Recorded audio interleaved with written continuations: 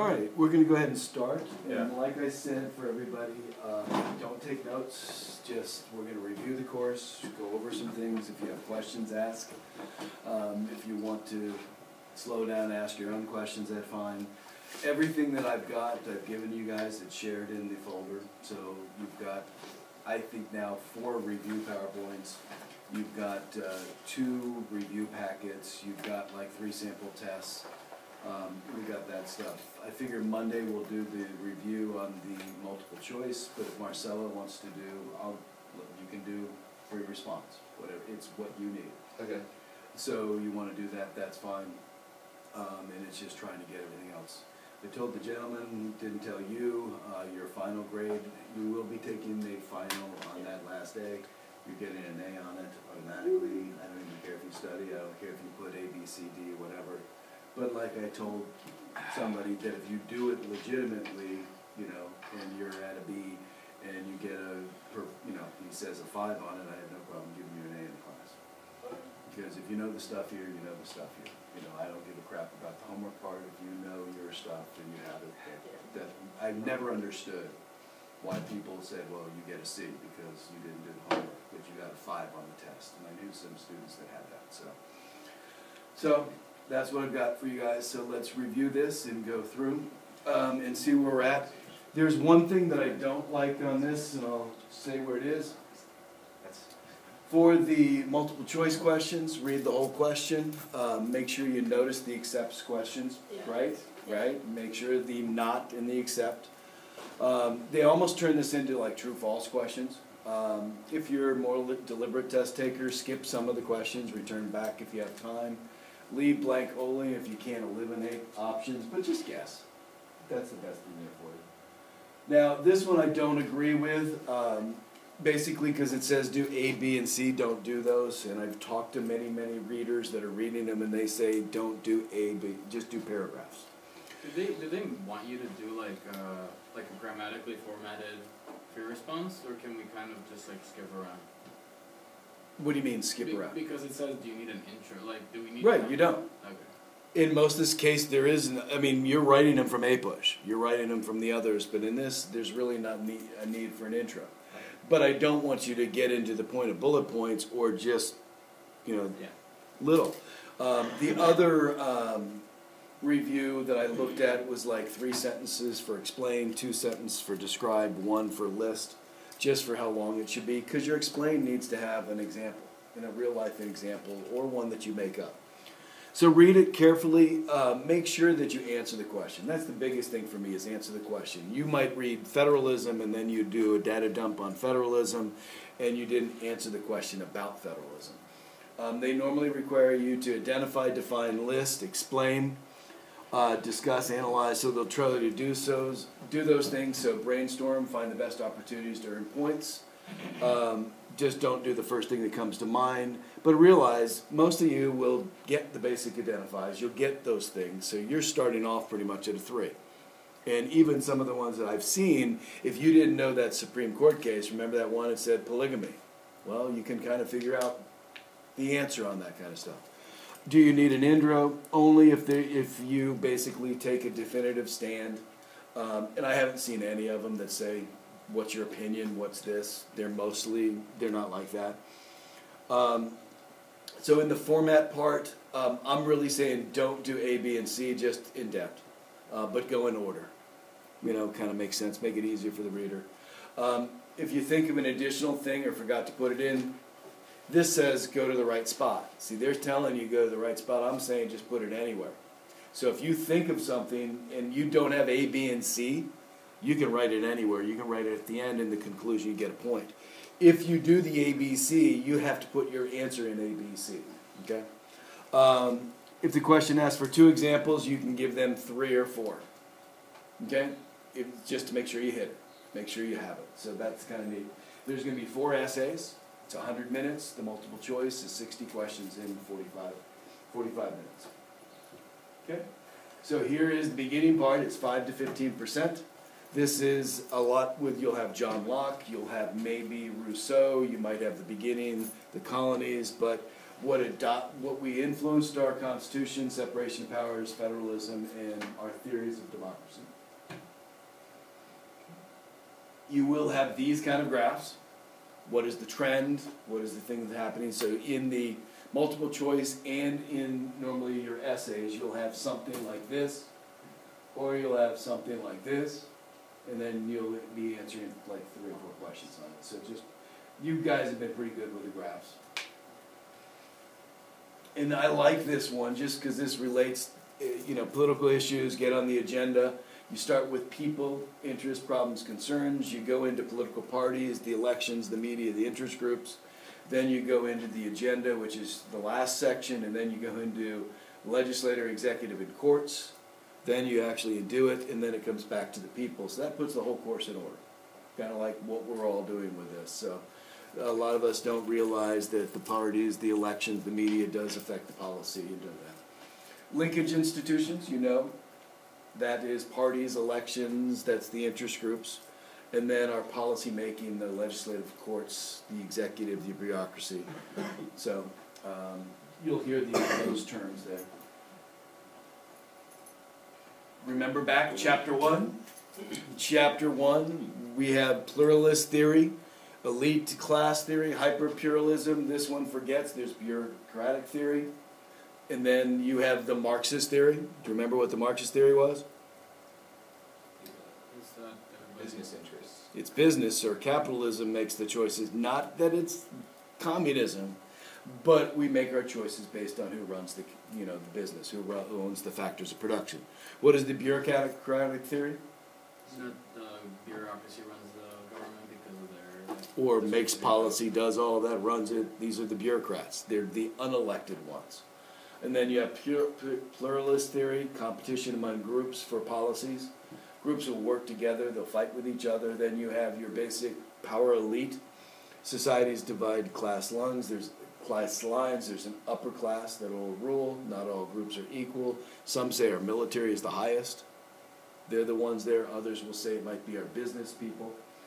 And then hyperpluralisms, groups are so strong, government's weakened, and there's too many groups fighting each other. Okay? John Locke, biggest one because he did, who did he influence the most? Thomas Jefferson. Thomas Jefferson, in which document? Declaration. Declaration. Um, so basically, he came with the natural rights, consent of the government, limited government. So basically, he showed when we can revolt, when we can do that, when, um, and he also believed in like a legislative branch and separation of powers. The conservative revolution restored nat- the rights that the colonists felt they had lost because they were British citizens. Um, felt that they had lost what you know England had because they were there. Um, so that's very interesting. A lot of people say we had, it was a progressive revolution.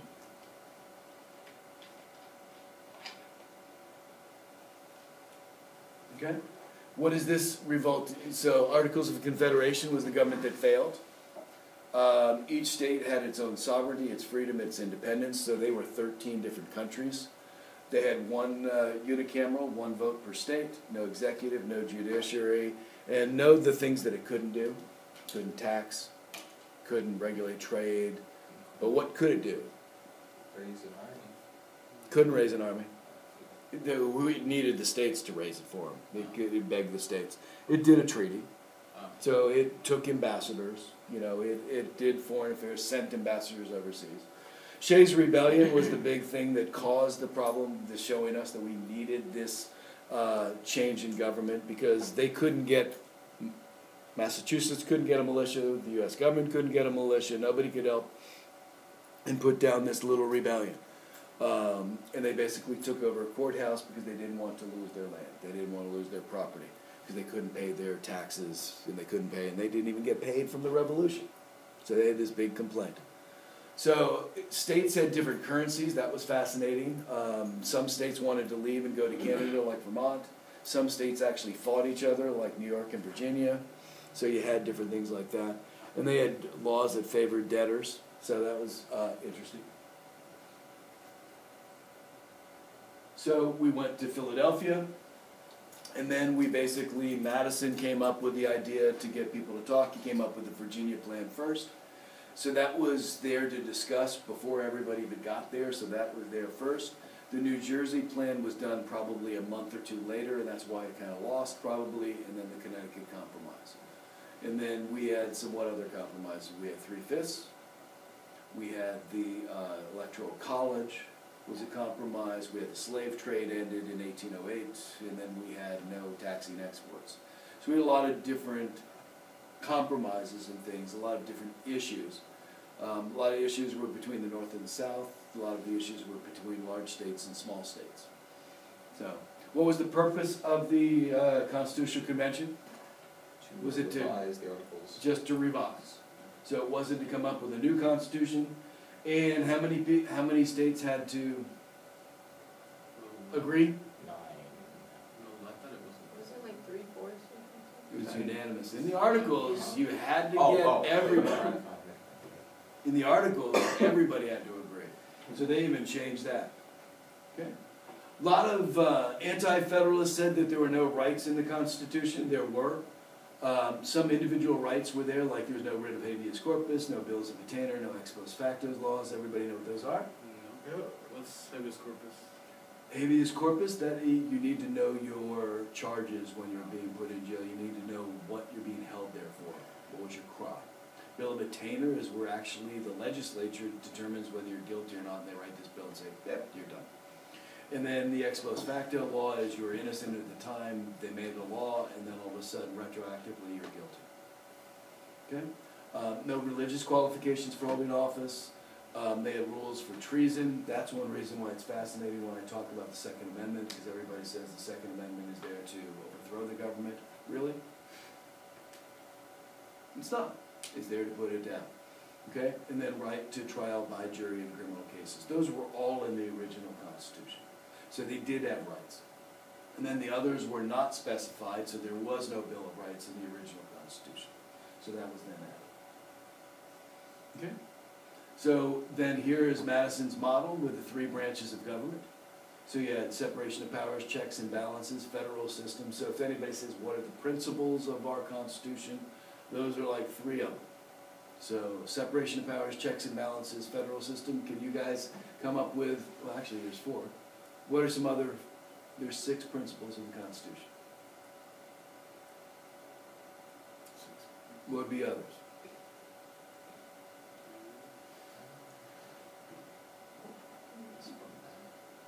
So there's limited government, there's separation of powers, checks and balance, federalism, so there's two more.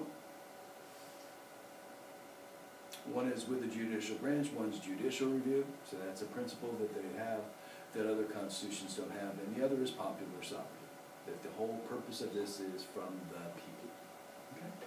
So everybody understand that we've got a Congress, we've got the House and the Senate, then Congress is the, um, they basically make the laws.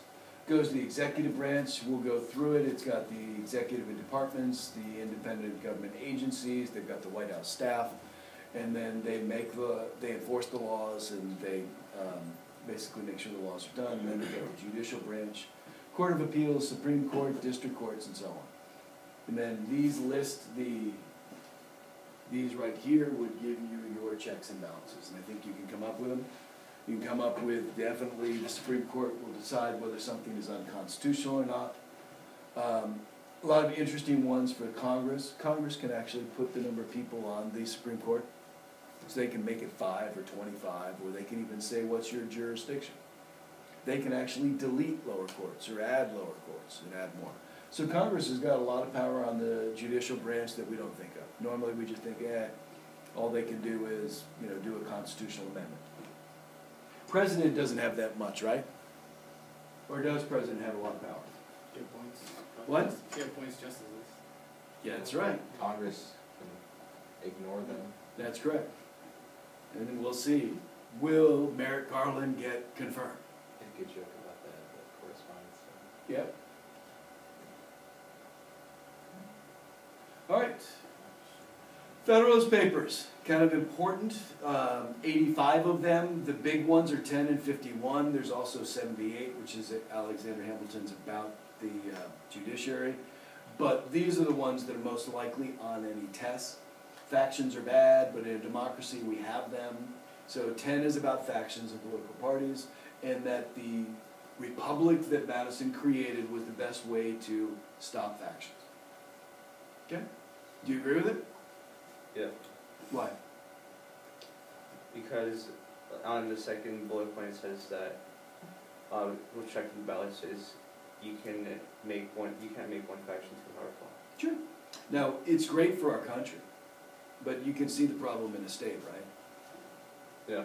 Because in a state, you've got states like, you know, North Carolina that's all Republican, and their Republican governor, Republican legislature, Republican courts, they're passing HB, you know, two that says there's no transgender people, you know, they can't go to bathrooms, they pass a law saying that Baptist is the state religion. So locally, low level, factions are very important, but when you get national level, Republican Party, Democratic Party, Green Party, all the different interest groups, um, our republic stops those, stops the power of those. Then checks and balances, or fifty-one, that's the most famous quote, if men were angels, no government would be necessary, Madison said that. First, you must enable the government to control the governed, and then control itself. Um, and this was basically the argument to have checks and balances, so this was fifty-one.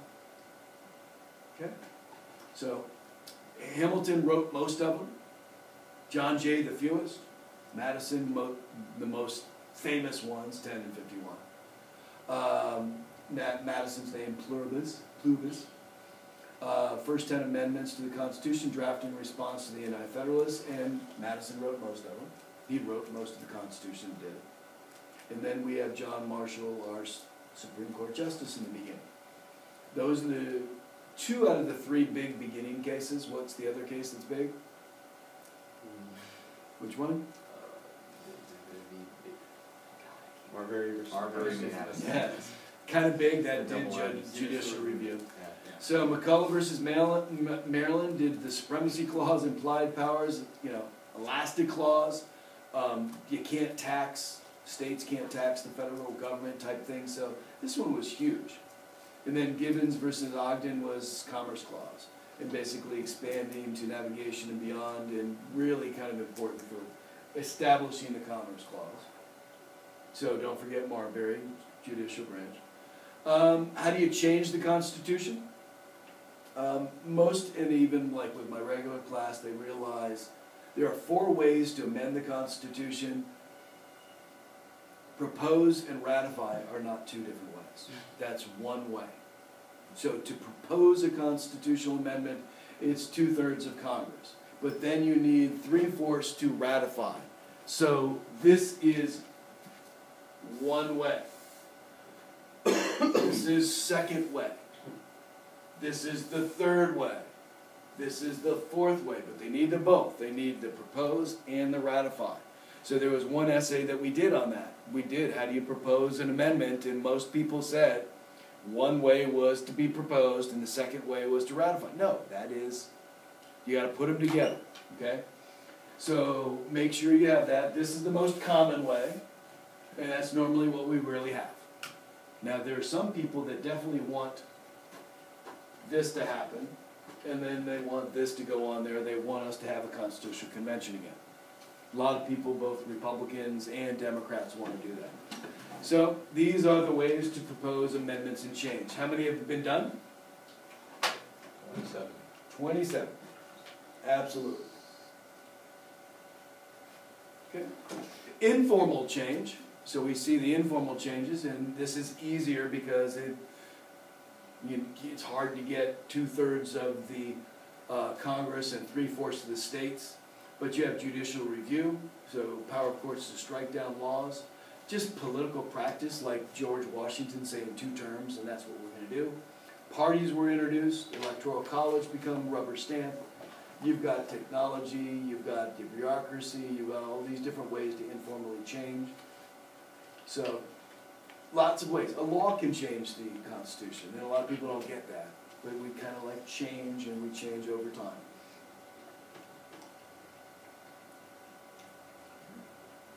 Right. What fractions do you need to know? Two-thirds, three-fourths, but if you don't get it, that's fine. What do you have to say? Simple majority, maj- or a supermajority. You don't have to get the fractions totally correct, but you have to know with an amendment what you need, okay? To pass a bill, it's simple majority. Is this true today? Mm, no, yeah. Well, I'll, I'll. It's true, but it's not true. Cause you can still have the presidential veto, right? No. No. It's true, this is all you need to pass a bill. But in the Senate, what do you have to do? What do the Republicans do every time when a Democrat proposes a law and what, vice versa? What do they do? Filibuster. They filibuster. How do you oh. need to do a filibuster? How many votes do you need? Three Two fourths. thirds? Nope. What's the number? Close. Sixty. Sixty. Sixty. So, we've changed this in the Senate to sixty. Especially, only if they're, well, I, just think in the Senate, that's where we're going to. Um, and it just is has, cause I'm going like, even if there was Republicans were House, Senate, and the president and the courts, the Democrat, few of them would have, would be able to filibuster, do that, and then you'd need the sixty votes to end it. Um, immigration passed. We have uh, comprehensive immigration reform passed, but it didn't pass sixty. So it got the fifty-five, it got the simple majority, it got the House and the Senate to pass this, but it didn't get the sixty in the Senate. So, um, ratify a treaty, confirm judges, um, but look at this, to confirm a judge, appeals court or anything, Supreme Court, just a majority vote. So, it doesn't need to be two-thirds, it just needs the Senate to do it. But it, do- but what we're finding is they're now filibustering Supreme Court justices, so they're now not even voting on them, so it takes a lot. So look at what needs a majority and what needs two-thirds, what needs a supermajority, to just realize those. But you don't need to get the percentages or fractions right. Okay? Federalism is big. Federalism is huge. We have national, state, and local. So here are the national powers. Here are the concurrent powers, and these are the reserved powers, the ones just going to the states. So obviously, the states are to establish local governments, regulate intrastate, if there's anything intra anymore. Can you come up with any intrastate? Interesting. Shipping, anything, just about anything. No, I disagree. I think everything is interstate. Tell me about it. Casanova Brothers Pizza, my favorite pizza place in Gilbert, is run by these two brothers in Gilbert, Arizona. They hire everybody in Gilbert and they make pizza. One shop. Is that intrastate or interstate? Interest. Interesting. I thought it was Yeah, intra. that's intra. It's what? Intra. It's within the state, Do you think so? As long as they're not ordering stuff outside the state. Bingo! Oh. How do you know that? Well, what if they order their stuff at Fry's? Mm-hmm. Automatically, that is now, they're ordering stuff from it. What if they use ADP for their payroll? It's a national company, that's not, I mean, there's so many things in there, but in general, in the old ways, it was inter, intrastate. But now the courts have said, well, if they order things from out of state, if they get supplies from any, you order something at Amazon, right? Where'd they get their oven? Probably wasn't made in Arizona. I mean, it could have been, but I, I, you know, who knows? So, we have that. They conducted elections. So, the states conduct elections, even national elections, the presidential elections run by the state. They ratify amendments, they take care of the health. So, those are the state reserved powers. Uh, and we do have quite a few both, the concurrent powers. And then look what's denied. So I like this chart. What states can't do, Grant titles of nobility. well, nobody can. Isn't that good? Because that's that old England, and I don't even think we care anymore. But that was way back when we really cared, didn't want to be like England. Um, so both of them can't do that. Both of them can't do slavery. Both both can't deny citizens the right to vote because of race or color. Um, and then here is the federal government.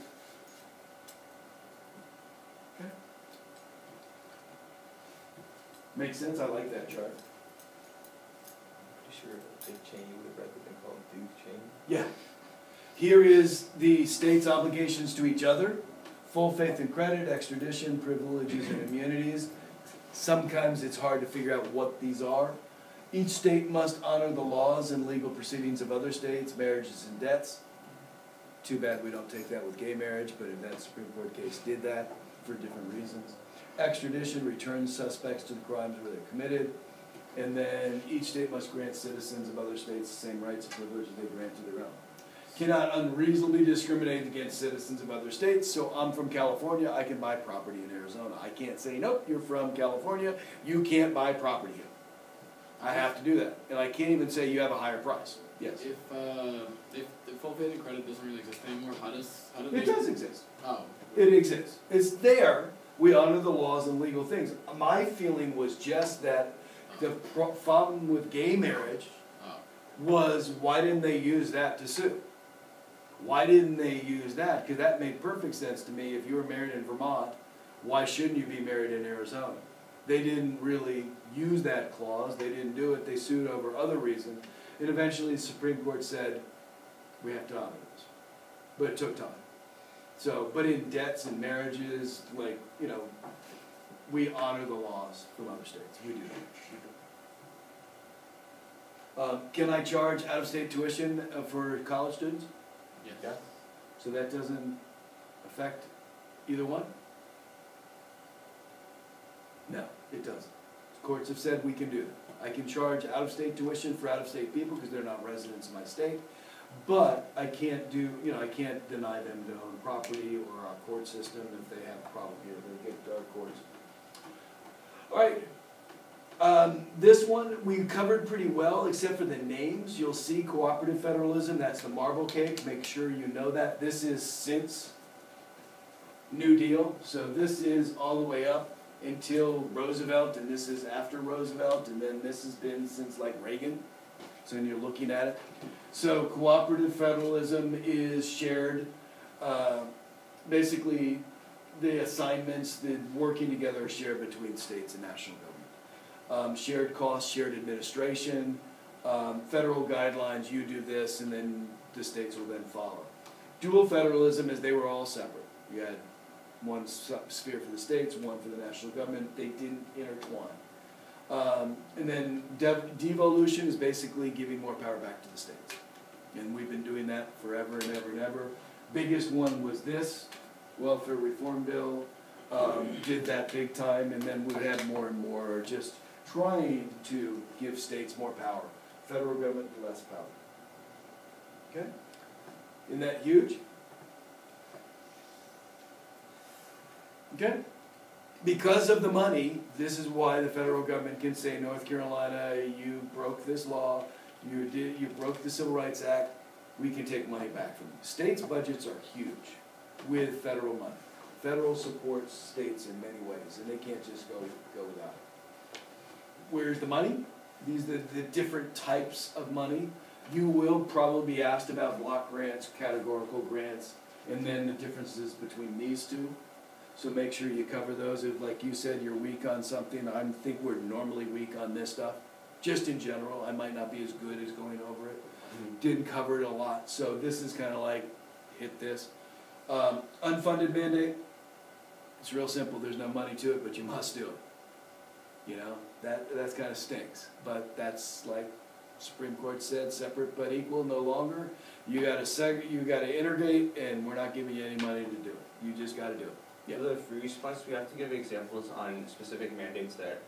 You'd have to explain, but the, the the ones that I have seen are yes, like they have had examples of these things, so yeah, you'd have to give examples, you'd have to give in, I don't necessarily say laws, Uh-huh, like you wouldn't have to know the Americans with Disabilities Act per se, uh-huh. but you could describe it, you could say in the nineteen eighties, we have, you know, every building has to be wheelchair accessible.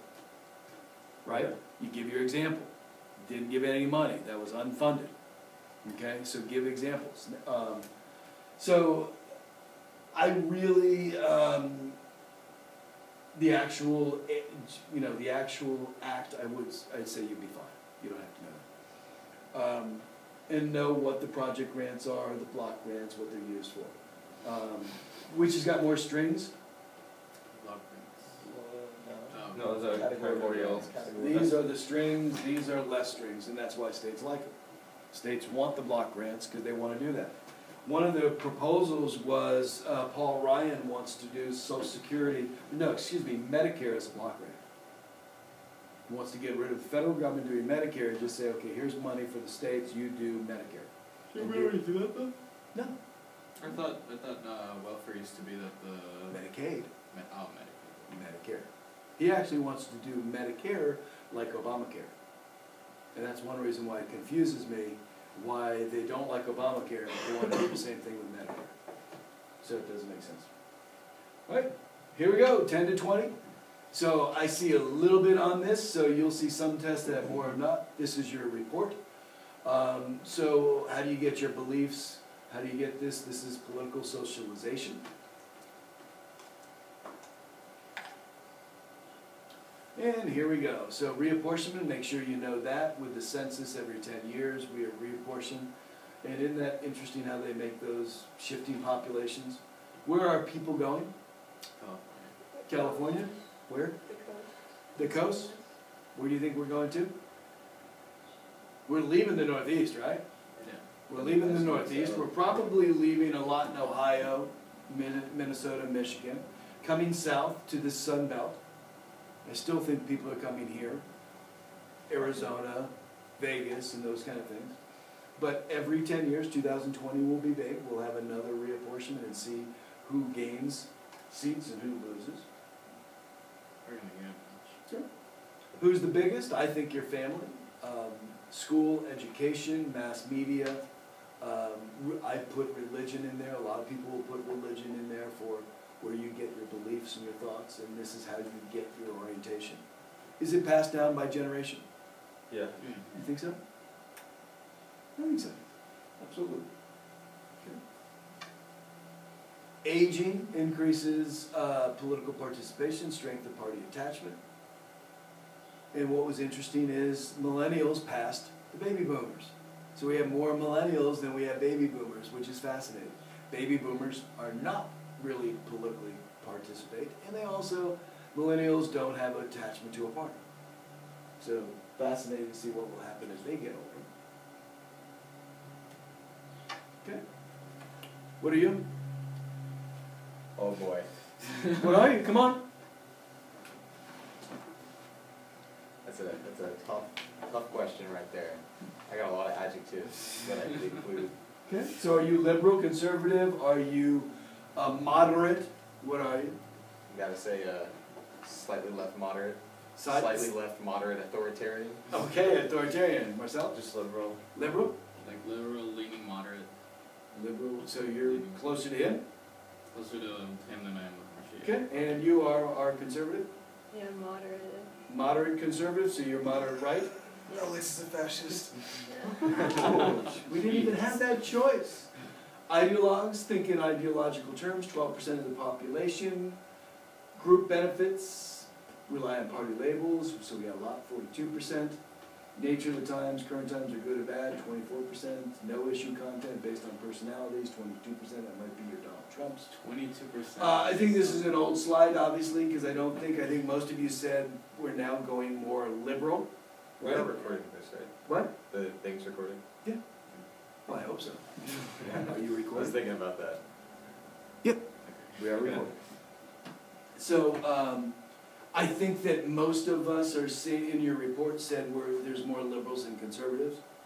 Um, biggest look at the moderates is forty, and it's been consistently, and you guys would probably put yourself in that moderate category, even though you might be more conservative and you might be more liberal. Um, political party, Uh, I don't know, probably. I can't vote, but probably political party, Democrat. would you, would you actually sign up? Yeah, I would sign up, well, because I think it's like important to like have a political party. Okay. Marcel, would Democrat you- as well. What? Democrat. Okay. Probably have to register as a Dem, yeah. Okay, you would register, all of you would register for a party then? Yeah. Okay. If I could. Once I turn Until, eighteen. until we change the, the, the whole like, um, close primary thing, then, yeah. Okay.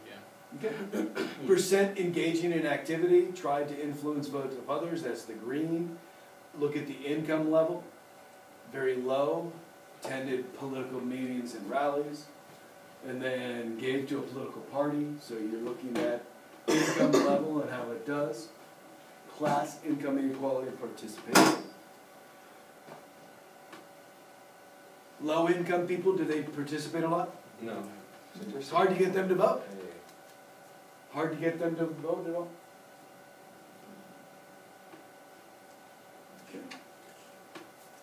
How elections work, so we're kind of going into elections, you might see some things on referendum, recall, uh, initiative. We have them in Arizona, you'll be voting on these. So initiative, voters in some states propose a legislation, in a referendum, the legislator comes up with the bill or something, and then people vote on that. So one is voters decide what it is, and the other is the legislature does. Um, This initiative requires specific numbers of signatures to be on the ballot. You'll see people at polling stations have, could you sign this, Soup grocery stores, sign this. Um, if you do an online thing, that doesn't count. So if you do anything from online that says sign up, sign this petition, it's really not that. It gives us an idea, it gives us an idea what to do, maybe we can get your name to go to get you to sign it, but it's there. Do you like these? Yeah. So are propositions, initiatives, or referendums? Uh, they can be either one. Most of them are initiatives that I see, but there's ones that the legislature just wants to cop out from doing their job and say, let the voters decide.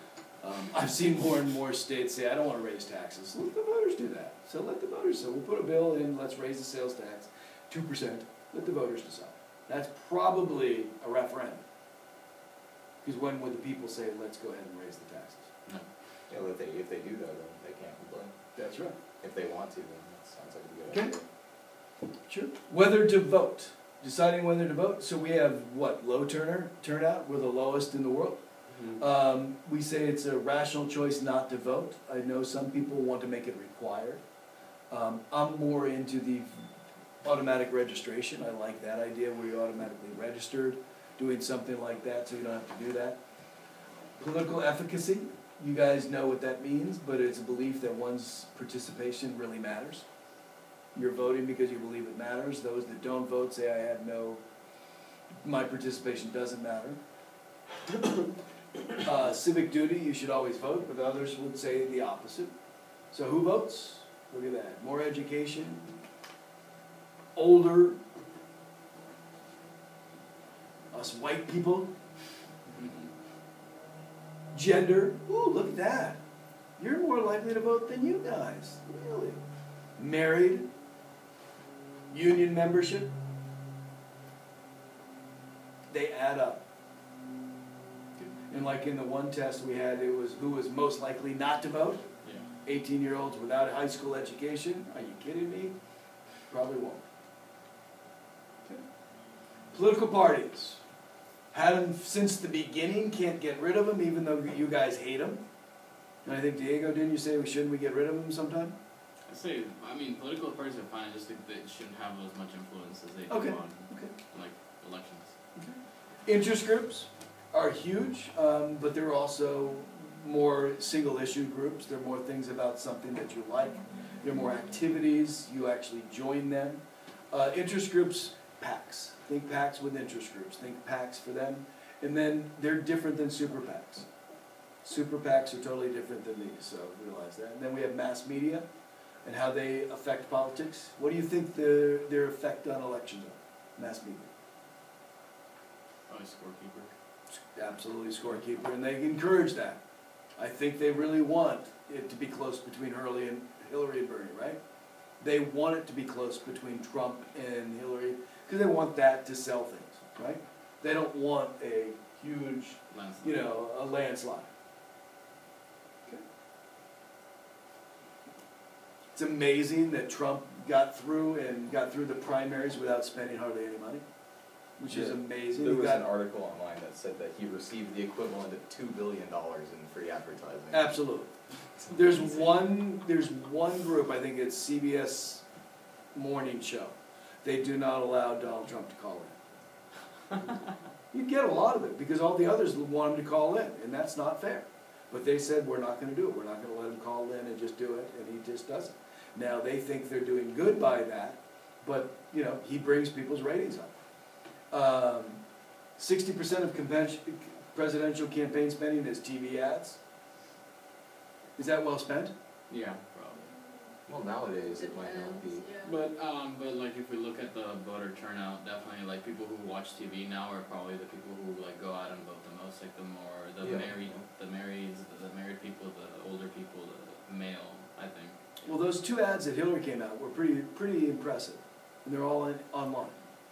They're not showing anywhere on TV. Now, maybe they will, but even like, you know, Daisy ad, they were shown once. That was the most famous ad, you know, with Johnson. There's been a couple that are really famous, they're not shown a lot, but there's lots in ads. I just don't know if it's worthwhile anymore. Obama ran a good social media campaign. I think Trump was very active on social media. I think he'll be able to I don't think he's gonna spend that much money. He said though he's gonna spend a billion dollars. We'll see. Um, the policy agenda, the issues that attract serious attention to public officials and others, that's the role of the media. They try to guide and tell us what's important. People invest their political capital in an issue, goodwill, so policy entrepreneurs. So mass media affects all of this. meaning of party, linkage institution. They pick the parties, they run the campaigns, they give cues to voters, they give policies. In the convention, they come up with a platform. So you'll know by being a Republican what the platform is, or being a Democrat what the platform is. Party identification is your self-proclaimed preference from one party to the other. Are you guys gonna do the bottom one, ticket splitting? I don't think I don't so. Well, I uh, I don't know. You probably won't. Will you? I might. You might. What do you think for you? Definitely could. I could see myself doing that. Any of you vote for John McCain? Over It's Ann Kirkpatrick. possibly. See, there's your ticket splitting. You possibly might vote, but who knows? I don't know who you're gonna vote for president, but that might be one where a lot of Democrats might vote for John I mean, if McCain. you go to like Massachusetts, there's lots of uh, agreeable Republicans that Yeah. live there. The Oh, sure. Okay? You mentioned once, I don't know if it's true, do you think this is a critical election? I I I don't would know if say it's so, a definitely. I don't know if it's a critical election, but it definitely like uh, it's unprecedented. Like having two different, like from by, by both parties having like uh, outside candidates like get as far as they did. Well, I mean, Okay. like if you had to pick one, this is probably the best example of an election where you have people from their party that don't want to vote for their party, Yeah, But and like, also people who wouldn't normally vote who are voting for their party. but if it's like uh, in terms of like sure, like these people like they wanted to vote for somebody else, but they didn't have a choice essentially. Mhm. Yeah, but this time, you know, This time there's a choice. Trump. Do you see a new coalition? Trump and Clinton. Yes, I definitely see one, yeah. What do you, what's the new coalition? the Trump, the Trump's. yeah, the, Trumpers. the so I think socially liberal, economically conservative. Yeah, you get, and libertarians just in general are Yeah. flocking to, especially as he's uh, contemplating putting uh, Ron or Rand Paul. I don't know which I, I think he said Ron actually. Okay. So you're thinking he's trying to get Democrats Yeah, mostly, he- and he trying to get working Just white independents, Democrats? Yeah. Okay, Blue try to dog go. Democrats, stuff Okay. like that. I mean, they were Reagan Democrats for a reason. I mean, they were Democrats and they voted for Ronald Reagan, and then you know, it's the, those white voters have been there for since, but they might still be. Uh, party realignment. When was the last time we had that? 1990s? Republicans flipped, absolutely. Um, and there were, I mean, there were Democrats probably into the early 2000s that were in the South. Most of them switched in George Bush's time back to, re- to Republican where they should be. A lot of it was in the 90s. Um, so, yeah, party realignment, it's fascinating. Um, third parties, any have any impact this election? I don't think so. You're Not saying this probably time. not? Not this time. Okay. You don't think Trump- Single thing. You don't think uh, conservative will run as a third party? You don't think Bernie will run as a third party?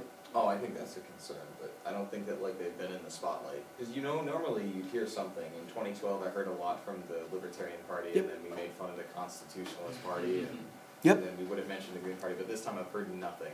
I The mean- only time I've heard the phrase Green Party is whenever we talk about Jill Stein. the Green Party.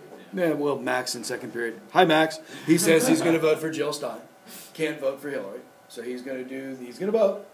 Says he's going to do that. We'll see if he does. But you know, you have uh, Jill Stein, and then of course, what is Gary Johnson? He's the Libertarian. He's going like, I'm here, I'm here, vote for me. If you don't like Donald Trump, we're here, our libertarians, but guess what? They rarely win. Can you figure out the last time a third party won a state? It- Wasn't it the Republican Party 1912? when they were small? Not 1912. Oh, Wasn't who was that guy Republican named Party they got big? Nope. It was that. Oh, It oh, was oh, oh, George, social- Wallace, George Wallace. George Wallace, the Dixie Party, won, won five states. George The Wallace. Dixie Party, the Dixiecrats. So he won that, but that was it. And then after John Anderson, Ross Perot, um, Ralph Nader never won a state. So all the big ones there never won. Um, and then before that, it was the Bull Moose. And then you were like 1912 because Roosevelt was popular. So he won, but he really destroyed it, made it Was it a socialist or a communist or like the Cold War? Eugene Deb? Oh, Yeah. wow. Yeah, that was, uh, that was nineteen tens, twenties. Did he win? Did he win? I don't think he won a state. He got over a million votes, but that Yeah. it. Absolutely. Ross Perot got quite a few. Your primaries, and this is the ones you all hate closed primaries, right? Yeah. Well, you know. Not for like being able to not vote for, uh, like having to vote for one party, but like your party, but like because it's uh like the whole voter registration issues that we saw. Right. But I like closed primaries. You guys like open primaries, but know the difference. Then blank blanket promo, primaries don't even have labels, kind of like you can vote for whoever you want to, go back and forth. Um, and then you have the National Convention and National Committee. National Committee basically keeps the party going between conventions. Um, you have the chairperson that goes, and you'll see Reince Priebus go on the Sunday shows, and he'll talk, and he'll, you know, do that. But that's him. And then the convention's gonna be fun. We're gonna have two conventions. Um, they'll probably be, maybe the Democrat will be more exciting than the Republican this year. We'll see. Um, and then those are the different types of primaries. Do you like primaries better than the conventions or caucuses? You know, I, I, I honestly, caucuses are interesting, that's all I can say. They are. So, caucuses, well, one of the problems with the delegates is the pro- early ones get too much power, right? California, the largest state, has no say in this year's election. Goes to New Hampshire, it goes to Iowa, goes to South Carolina, and that's crazy. So it says disproportionate attention to the early states. Prominent politicians find it difficult to make time to run, which is true. Money is too big of a role. And I don't know if that is the case now. Is it the case now with Citizens United? Everybody's got money. Bernie didn't have a problem with money. Yeah, I think the lowest, I was looking at, uh, all the candidates who ran and had, like, their financial information, and the lowest amount of money that was put in by any candidate, Jim Gilmore, I believe, still put in, uh, half a million dollars. I know. To his very limited campaign. Who who of the major candidates dropped for money? None. Right? Marco didn't drop for money. Jeb Bush didn't drop for money. They all they dropped because they were losing and they had a lot of money. Now in past elections, your money ran out. If you weren't winning, your money ran out. You'd have to drop because your campaign wasn't going. It might be Lincoln Chafee, Jim Gilmore, those guys that really didn't do anything. But most of the major candidates, especially in the Republican Party, they had no problem with money. Uh, participation in caucuses is low. And then for, you know, that's one thing Bernie says, if we had high, high turnout, it helps him. He won a lot of caucus states, where it was low and less people participate. Okay. Here are some of the laws, like the one in Federal Election Campaign Act of 74. The FEC runs the elections and basically sees whether PACs are fought, or following the rules and stuff like that. If there's any problems with campaigns and how much money people give, what you spend on your campaign, there's rules and regulations. Look how many PACs there are. 3,868. Lot to congressional candidates, lots to candidates who support their issue regardless of poli- policy. Um, the last bullet point, I would probably agree. I know Bernie complains about it all the time, but they haven't swayed an election as far as I can see. Now, maybe locally they might be beginning to, don't know. Have they done anything on a presidential election? So look at all the requirements that the, under the uh, FEC Act. Campaign fund, public financing, full disclosure, limited contributions. Okay. Campaigns have three effects on you, reinforcement, activism, activation, conversion. Mostly reinforce and activate. Very few times will campaigns convert you to a Republican or Democrat or change you. I love selective percep- perception, right? You agree? Yeah. And now it's gotten so bad that, hey, if I don't wanna listen to a liberal, I don't have to. If I don't wanna hear a conservative idea, I don't have to, right? You can pick your radio, you can pick your TV, you can pick your internet, you can pick all of that stuff where you can only just agree with the same people. Incumbents, incumbents have huge advantage. Does everybody understand the electoral college? Mm-hmm. Anyone not? Alexa, I think I got it. you think you got it? If I wanna change the electoral college and change it immediately, can we do it? No. Yes. It's not in the Congress, it's not like you have to repeal an amendment. No. Look at that top one. Each state has as many votes as senators and representatives. Look at the next one. Winner take all. I don't need an amendment to change it. All I need is my representatives, my senate in my state, and the governor to sign it. We can go to congressional districts. I am very surprised that Republicans haven't done it. Congress is run by what? Republicans. There are more congressional districts run by Republicans. If you ran it that way, guess what? Mitt Romney would have won two thousand twelve. Mitt Romney would have won that. Totally, for sure. Why don't they do that? Doesn't make sense to me. And they can do that without a constitutional amendment. They can change it to any way that they want to give the electors that they can. Okay? Electors meet in December, Votes are reported by the vice president in January, that's one of his kind of like duties. No candidate gets two seventy, House of Representatives vote for president, one state, each state gets one vote. And that is how the founding fathers thought every election would be. They thought it would never get to two seventy, and that the electoral college would never work and the House would choose every time. Boy, were they wrong, right? It's only happened like twice. Okay. Interest groups. This is probably, if you mar, uh, Marcelo, I would say we're a little weak on, right? Um, I would guess so. Yeah. I think this is one of, besides certain parts of federalism with the grants, this is kind of like where we might be weaker than we are in political parties or whatever else. So look at the interest group part. Um, and they're really not, they're pretty much similar to political parties, right? What's the only difference? They're not elected. Yeah, they're not involved with the running a person and running a, getting that person in there. And interest groups really aren't there because political parties run the government after they look at, there's a lot going with political parties, getting elected, getting in the government. Interest groups are not the same. Okay?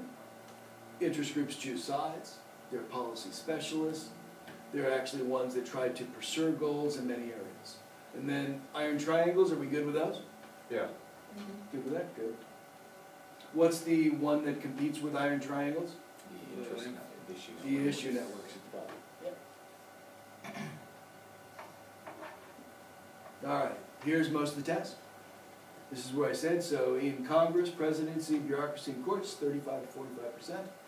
Figure also mostly on the essays too. You can have something with them. So here we go, alright? How do you like that? Democrat, two oh two, Republican, two thirty-two. Who's the one? In the Senate, that's Bernie. What about King? What? There's another Angus? King, yeah. Then men, women, and then the race, more Asians than you thought, right? Where's my Native Americans? Uh, religion, look at Protestant, look at Roman Catholic, and you can't tell me we're not a Judeo-Christian nation. Right? That's why we get it there. Look at our lawyers, then we have our business people, education, so sad. So little. Real estate's got a few, so that's who's in our Congress. Who wins? Look at that. incumbents win. Incumbents have a huge advantage. And actually, it's weirder, but incumbents have a bigger advantage in House than they do in the Senate. Why do you think that's the case? I think because they don't feel like the house is really take much. it, electors don't take it as seriously, Okay, what else? and they have more to vote for. Or to, to know, not, not vote for necessarily, but to know. I don't think they're as well known as the senators. Okay. There's just, there's just two senators for you to know. Hmm. So why would they get voted out less? Everybody knows John McCain. Wouldn't you think his reelection would be more than maybe some, you know, Matt Salmon? I guess they value the, the Senate more than they value the House, just in general. Because there's only two, because it's statewide. There's more money that's put into the Senate, it's only that, so there's more competition for it. So in general, the House, if you heard the person, you just vote that person back in. And you, if it's the incumbent, it's so huge. And there's very, it's six hundred thousand, right? There's only very few people in there. Advertising is a big advantage, money is a big advantage, things that they've already done is a big advantage. I love credit claiming. Even if they didn't vote for it, they can take credit for it. And then casework, don't forget that. Help constituents get what they want, and you help them. Love Pork Barrel, projects and things made available in a district, paid for by Obama stimulus package, paid for by this, stuff like that. Most, you know, opponents are weak. They're inexperienced, they're unorganized, they're underfunded, so most incumbents have got a lot of advantages. Here's how Congress is organized, it's bicameral, so we got the House and the Senate, you should know those. Know the different rules. There were some essays, like you said, on, um, there were essays on the difference between the House and Senate in lawmaking and doing that, knowing the differences between the Rules Committee and then the filibuster. House has got definitely a lot more rules. Anyone take a guess on how many representatives we'd have if we followed the Constitution from the very beginning? Like two thousand, probably. What do you think? It was one per thirty thousand people. Hmm. So go ahead, Mike, how much would it be? It'd be about over eleven thousand representatives. So they stopped it in nineteen twenty-nine at four hundred and thirty-five. So it's stuck there until Congress chooses, but that's where we're at now. I think we probably should increase it, don't you? Yeah, ten thousand three hundred Yeah. and thirty-three, And what did you use for the population of the US? just, uh, three hundred and ten million. So he went, well, I think it's three thirty-five, three fifty, so, yeah, big difference. Leadership, um, leadership is important, and whoever runs it is by political party. The House has got the Speaker of the House that is elected by House members. A lot of you think they're only elected by Republicans or Democrats, they're elected by everybody. So they vote on that, they preside over the House, they decide who gets assignments, who, when legislation comes up. And they're assisted by Majority Leader and whips. And then the Senate, Not bad. Who's second the battleship? led by the Vice President. What, when can the Vice President vote? When There's a tie. tie. And then you have the President Pro Tem. Who in the heck is that? That's for, that's the individual who's there whenever the vice president is there. Correct. So he has no power either. So they're just in, um, just when the Vice President's not there. The Majority Leader is the actual leader, not the President Pro Tem. And then they've got whips. Remember who that is in House of Cards? Uh, Frank Underwood. Absolutely. Everybody knows Frank Underwood now. He's the whip there. Must work with the uh, leaders. They need to count the votes. And some are better than others. Uh, But just making sure you don't want to bring up a bill that you're not going to get the votes. It's kind of embarrassing. Okay. Here are our committees. Big one that you'll see on the test, of course, is the joint committee, which is the conference committee. So it's kind of like, it is a joint committee and it is a conference committee, but that's one that we've used to resolve differences in bills. Uh, What's a select committee that you know of, that you've heard of, that's political in nature, that's against Hillary Clinton? Oh, the Benghazi. Yes, select committee on Benghazi, the ninth one. There's one on that, so it's just a temporary purpose, just there. Standing committees are there all the time. So those are ones we've uh, looked at. There's one on banking, agriculture, all of those kinds. Guys need to take a bathroom break? No. You good? You good? Okay. Does anyone wanna do an essay or do anything different, or you wanna cover the class for now? I wouldn't just cover the class. Okay. Yeah. You okay? So, how a bill becomes a law in our game. So, did you get most of it? The introduction is by a member in the House. Normally, it's put in the hopper, then it's given a number, it's H, for, and then it's H one to H ten thousand, or whatever it might be. S is S one or S ten thousand, but in the Senate, an actual member like John McCain would actually have to introduce it. So it's introduced, it's logged in there, so it's gonna be read probably three or four times. Um, then it's gone to a certain committee, so it goes to a committee who then refers it to a subcommittee. So subcommittees do most of the work, they do the hearings, they do the research, they do a lot of revisions on the bill, but subcommittees do most of these, this stuff. Most of your bills die in committee. Anyone know what that's called? Dying in committee. What's Pigeonholed. The hint. Oh, yeah. It's pigeonholed, it dies in Oh. committee and it's just there. Yeah. Um, so you've got a subcommittee that is run, all of the committees are run based on the political party that's in charge. So their numbers that they have are based on the political party in charge and most of the committees. So if you are now in Republican hands, they run, all the chairmen or chairwomen are Republican. So Democrats are in the minority on all the committees. So obviously, if there's a Democratic bill, it's not gonna be voted on, talked about, anything like that. So it'd only be Republican bills and so on. Full committee, subcommittee's gotta vote it out, then it goes to committee, committee's gotta vote it out, and then it goes to then the rules committee in the House. There is no rules committee in the Senate. Leadership decides how the bill is taken. Um, there's floor action, so the full House decides, and they, they basically will make their speeches, normally fifteen-minute speeches. They debate them, they might add amendments, they might add riders. Um, and then the Senate has that stupid thing, what's it called, that can stop a bill? Filibuster. Filibuster, and then how do you end a filibuster? Sixty percent vote. Or it's called cloture, correct. Okay? The bills have to be identical. Identical words, identical writing, so they go to a conference committee. Now, recently, in Obama's term, they basically looked at whichever one was gone through, I think they passed the same one. So they basically tried to, you know, they would try to pass the same version. So if the House got through, and the House was the more difficult one, they sent the Senate the identical bill. And they didn't say, let's not work it out, they basically sent them the same bill and hope they passed it. So we haven't had a conference committee for a long time. And most of the time, they're not working together, that requires both parties to work together to iron out differences in a bill. So what we're finding is recently, they're not doing the conference committee, they're doing the, you're gonna pass the identical bill that I passed. I passed it first, you're gonna have to pass mine. You can't make any changes, so if the Senate makes any changes, then the bill's, the bill's dead. Has to be identical. Um, but on most tests, conference committee, that's the one that irons it out.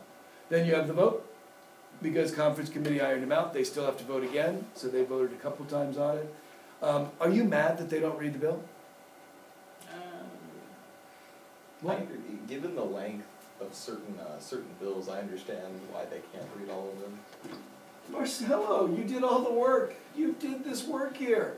I like you. I'm a Democrat. I'm with you. Why wouldn't I, why do I have to read it?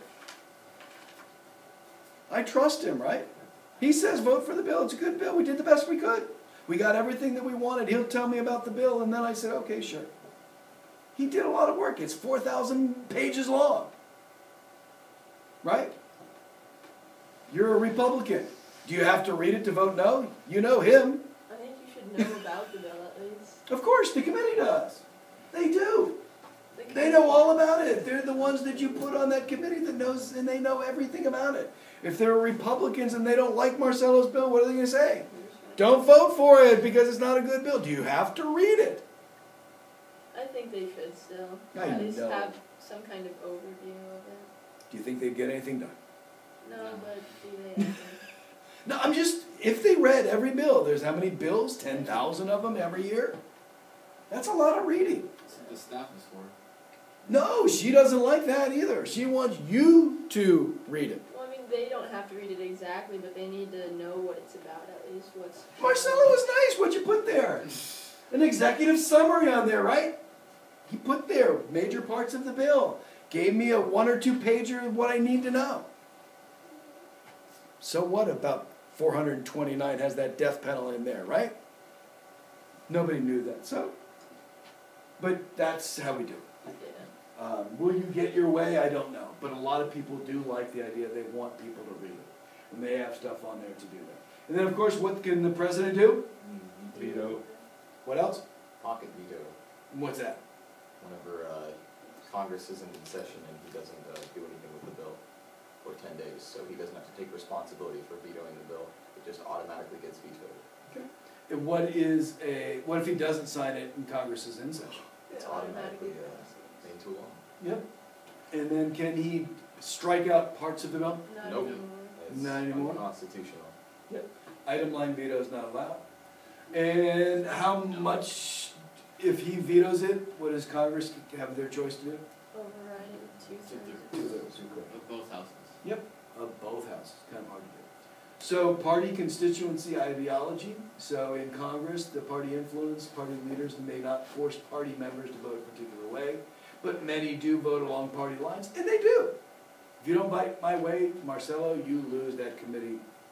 You, you might, I might take him off the committee, I might remove him from a committee chairmanship. So the speaker has a lot of power, the leaders have a lot of power to do that. Most constituents are uninformed about their member. It's difficult for constituents to influence their member. Definitely no. I mean, the Republicans are mad at their party. People are angry at their party. It makes sense. Look at lobbyists and interest groups. Thousands of lobbyists try to influence Congress. Bigger the issue, the more lobbyists. Lobbyists can be ignored, shunned, and even regulated by Congress, but they're not. Um, lobbyists and others influence Congress. The people really don't. I would love for the people to call the Congress people, but do they? No. But who does? A lobbyist, the NRA, or other, you know, the teachers' um, unions and stuff like that. Okay. Pork barrel, earmarking. Um, look at these. This Isn't amazing?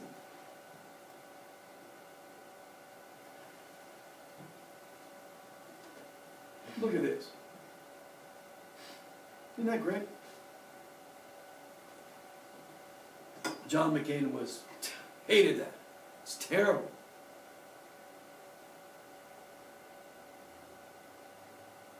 What do you think about that? Um, What? It's a federal project. Gives you jobs, gives you money, improves the area. it's not gonna yield anything. Jobs. To those fifty people, maybe it's important. Might as well give them Why? They used to fly. Now you don't have to. What's the problem with it? I mean, a lot of our projects, you don't see the benefits until years later. Yeah, what if there's development on that island? You don't know. 2005, 15,000, costing $47 billion. But that helps local communities, local areas, doing some of those things. So now the House of Representatives passed a rule requiring Congress members to attach their names to earmarks, certify they have no financial interest in them. Because John McCain was really against them, no earmarks, no pork barrel. That's kind of hard to do. And you want that stuff in your area, don't you? Heck, I'd like the federal government to give money for the Route sixty or Route ten. Light rail. Because the state's not gonna do it. State's not gonna give the money, so why not get some of that money? Thoughts on these? Yes, Why didn't, why doesn't John McCain like pork barrels then? because look how much it is. Look Oh, how much it costs. Five the percent of the, the amount of money we spent, maybe like less than five percent. Oh, I know. It's a, it's a political issue, but he's like, it's where we spend too much money. It adds to bills. You'll put a, you'll put the bridge to nowhere, which is not that much money, on a defense bill and it goes through. So you put it on these, it's a rider in, in a lot of cases. So you put these projects on riders that will pass for something else, and then that happens. No. NASA budget. She wants something done. She goes to Marcelo and says, will you do this? And he'll say, what? No. No, you'll say yes if. Oh, if you, um, Put a rider on. yeah, do something for me. Correct, what's that called? Log rolling. That's log rolling. So she wants her bridge to nowhere, for your bridge to nowhere. You both say, sure, I'll vote for your bridges. That's log rolling. Oh my goodness. President, we're now on president. Okay, we'll hit the bureaucracy and do that. Questions? Make sense? Do you agree or disagree with any of them? Protestant is still there, even though Bernie's Jewish. Who's the most religious in this election? Hillary. Is? Hillary is the most religious, the one that goes to church, the one that really does Oh, absolutely yeah, believe in Ted's not religion. in there. Oh. Yeah, not Ted. It's between Bernie, Ted. Trump, and Hillary. But yeah, Ted before that, absolutely. Okay. I was gonna say, I was like, what are you Yeah. talking about? Yeah, no, but the ones now, sorry. Um, and then. Mike Huckabee, go figure, he was a preacher, so.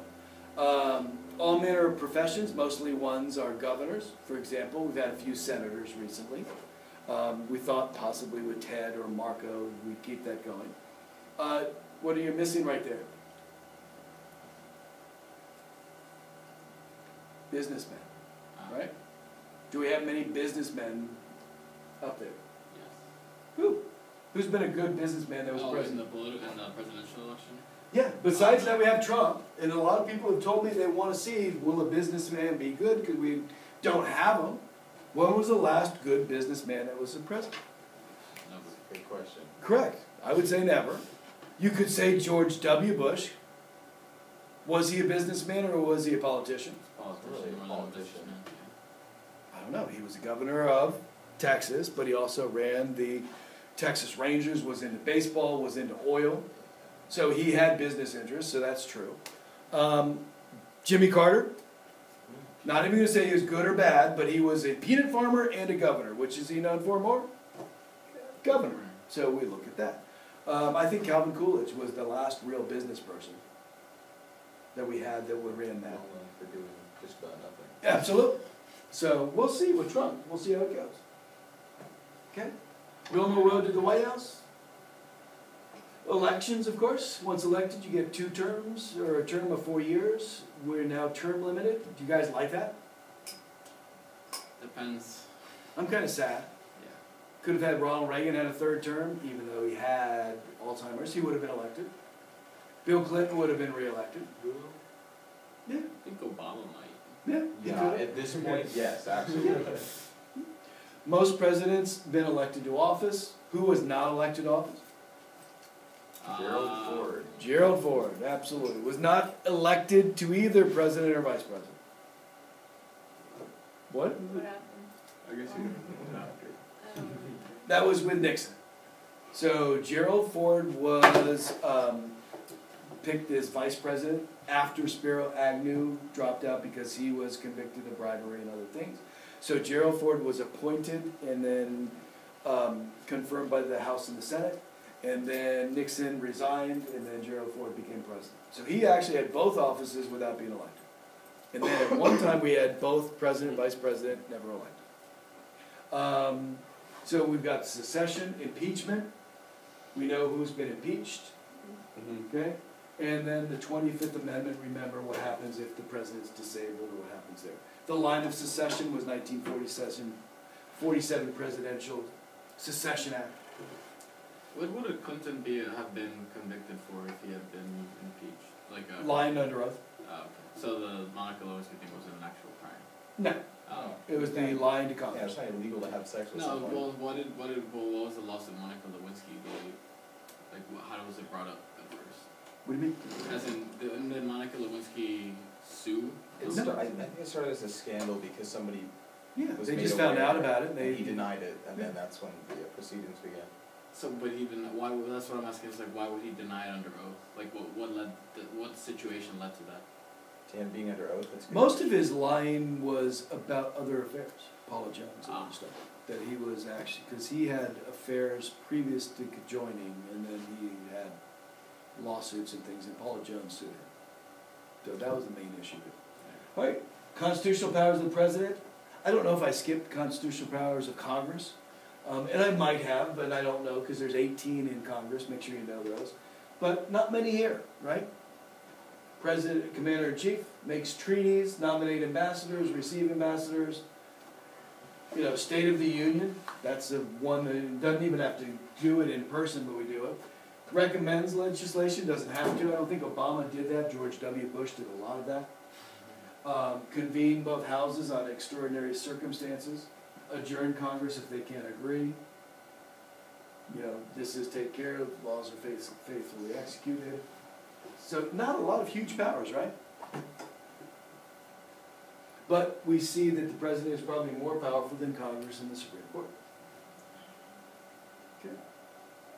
So here is the picture, this is the executive office of the president. You also have the White House office, which is the West Wing type thing. So look at the White House is off to the side. The White House, these guys, I can pick whoever I want if I'm president. I can pick my friends, they're normally people on the campaign, they're your buddies. You can be there, the people that you trust. All of these heads have to be nominated and confirmed, confirmed by the Senate. Okay? So executive office, all of those, look at those people. You might find some that are, um, you'll have a cabinet. You have cabinet positions under the president. So we've got National Security Council. That will have your gen- your generals, that will have your people in the military, your Secretary of Defense. President roles, we, there's lots of roles, but he's chief legislature, He can veto, pocket veto. I don't mind veto that word again. Governors have it, but not the president. When is the honeymoon period for the president? Hundred Right after. days. Right after their win, and who knows how long it is today. So some people might say it might be the first six months, some people say it's shor- it's shorter in the second term than the first term. Okay? Party leadership, so the president is the leader of the party. Um, do you think President Obama will go on the election campaign? I, I don't think so. Why? You don't think so? I feel like if he, he was going to, he would have already done it. Do you think Hillary or Bernie would want it? I think Hillary would. Hillary would want it much more than Bernie. Why? I mean, I agree with that. I totally agree with that. But do you really think Bernie would say, "Nah, I don't want you"? Well, no, no, I just feel like Bernie would, i- i- is less, uh, it's not as integral to his campaign to say that President Barack Obama supports me as it would be uh, for Hillary Clinton to do the same. Okay. I, I mean, right now, did uh, George W. Bush campaign with John McCain? No, not at all, because he was very unpopular. You've got right now, Obama's at 50, 51, 52 percent. You go to a Democratic state, he'll be fine with Bernie or Hillary. Um, one of the problems they said Al Gore didn't win, he didn't use Bill Clinton, a very popular president, didn't use him to campaign. So um, you use, I mean, he's the leader of the party. Chief diplomat, advising consent with treaties, executive agreements. Um, what was Obama's big things that he's done as a diplomat? Uh, He's- Iran deal, what else? Syria. Yes, he did Syria, that's a thing, I don't know, he's trying to do that, what else? Mm, Kinda big Russia, in this hemisphere, Haiti? close. Oh, we forget Cuba, Cuba, Oh. yeah, of Oh. course. Of course. of course. Land of the no Adidas. Yeah, commander-in-chief, this is what Obama's done quite, like you said, with Syria, the drones, de- decisions, leaving Iraq, building up Afghanistan. Absolutely unthinkable two hundred years ago, they didn't want a standing army. War Powers Resolution, like I said, no, that War Powers Act. Um, whether it's constitutional or not, it's never gone to the Supreme Court. Uh, most presidents just ignore it. Obama wants to influence it, wants to use it, why? He wants Congress behind him. He wants Congress to take a stand, and Congress has said no. There was somebody that wanted to sue President Obama for his military actions because he's unauthorized to do it. He tried to get Congress to pass, he's asked them to pass, they haven't done it. crisis manager. So if something happens, he, whether it's a Natural disaster. natural disaster, it could be the economy, could be something with technology. I remember, you don't remember this, but there's a big problem in nineteen ninety-nine. Y two K. Yeah, does anybody know about that? Yes, supposedly all computers are gonna shut down because they could not compute like the year two thousand. It would be the year nineteen hundred. Mm. It would be awful, it would be terrible, computers would shut down, absolutely. It was nothing out of nothing. But that was a big, big problem, and the presidents were behind all these things, trying to get everything done. Didn't, there was only a few little glitches in a few little states and areas. And then, of course, work with Congress, has the lead role in foreign affairs, still have to work for support, funding things. This is where, and you don't see it because Obama hasn't done it, George W. did it more, but going to the public. Having, you know, you know, fireside chats. Most of you don't know, Obama talks every Saturday. We did not know that. Yeah, every Saturday he gives his radio address. So it's there. We're not a little late. Yeah, I know, but it's like nobody knows. But he, why should he? He should be doing it at night. Should be doing it, you know, once a month or something, talking to people. Uh, public approval gives him his leverage, but not command. Public appearances are staged to get our attention, of course they are. And he performs many ceremonial functions, usually favorable press coverage. Uh, mandates, so that's where the president says, you elected me, I've got a mandate to do this. Um, they claim a mandate, George W. Bush claimed one, Obama did after, you know, two thousand twelve. And you've seen this or some form of it, isn't that right? George, What about George? that's a precipitous decline. Yeah, there was one point, and this didn't say it, but I saw that he, after like 9/11, had the eighty percent range. Look at Clinton, Yeah, he's the one like really. yeah, impeach him and he goes up. Attack him, he goes up. I told you, the more negative stuff, look what happens. Drove Republicans crazy. Okay? And then George H.W., his problem was he'd never been to the grocery store. And they asked him about what, what grocery it cost, and he couldn't tell you. And he, they, they asked him when was the last time he was in the grocery store. He couldn't with tell. uh, Mitt Romney. What? Mitt Romney walked in the grocery store, didn't pick up a cart. Yeah. Well, Bush, never. Look at Reagan, kind of low down up Poor there. Johnson. Yeah, Johnson. That was Vietnam War. Everybody know the differences? But it- that was- that- that's- Expenditures, revenues. How much do we spend in? uh, make in an average year now? I think revenue is something like one and a half trillion. Spend like two, almost two. You're only off by a one and a half trillion. We spend about and raise about three trillion dollars. So say we raise three trillion, our deficit, so we spend about three point five trillion. So we're about 500 billion, 400 billion now in a, in a deficit. Everybody know the difference between deficit and debt? Okay? And then budgets? Where's our money come from? Personal income taxes, personal income taxes is number one. Now, what they're looking at, see that big purple, the social insurance taxes? That's huge, and that's growing.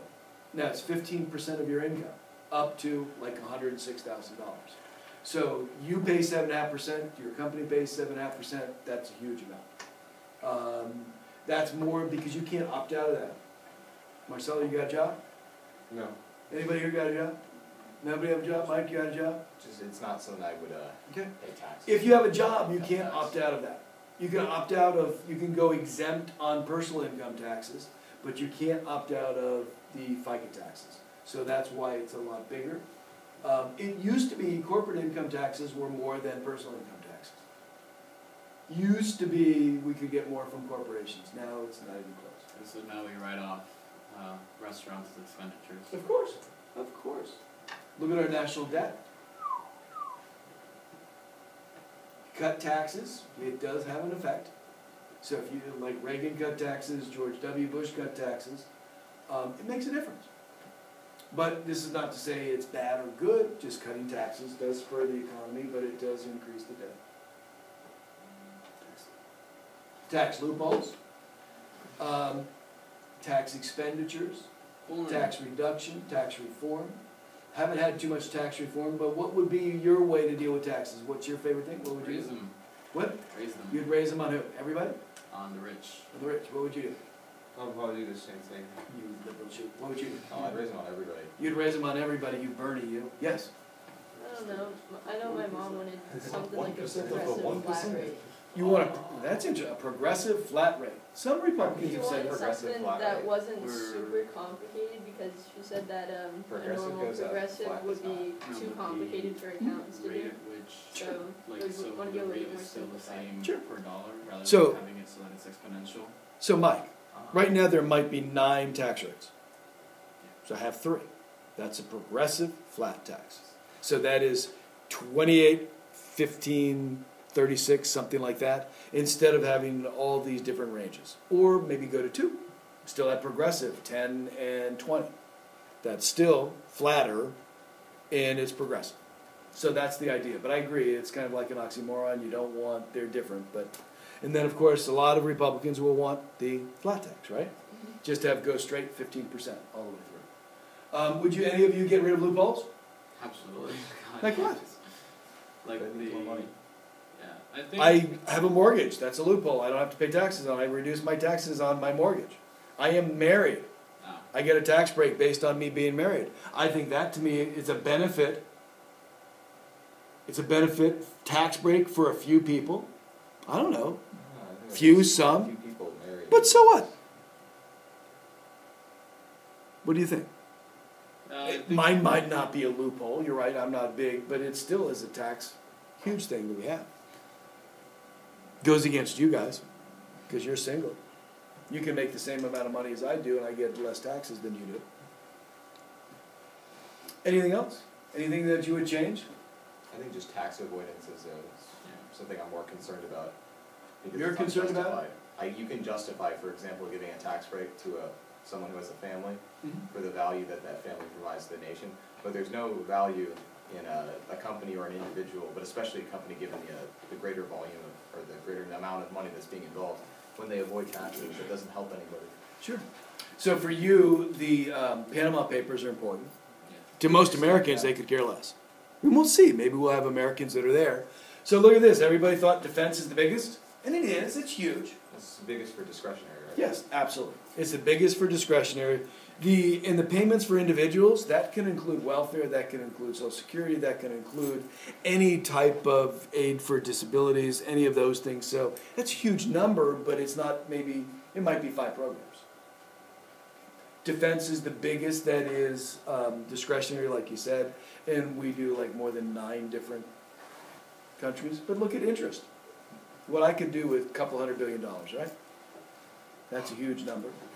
The other non-defense, transportation, all the other stuff is in there. Look at our defense spending. Don't question that whatsoever.